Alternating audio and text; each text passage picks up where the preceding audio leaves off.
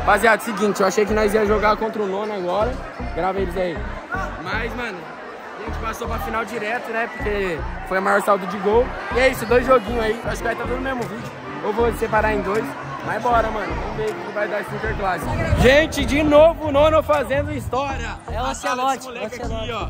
Viado, olha o tamanhozinho dos moleques. Os moleques tá fazendo história, ganhando de outro terceiro.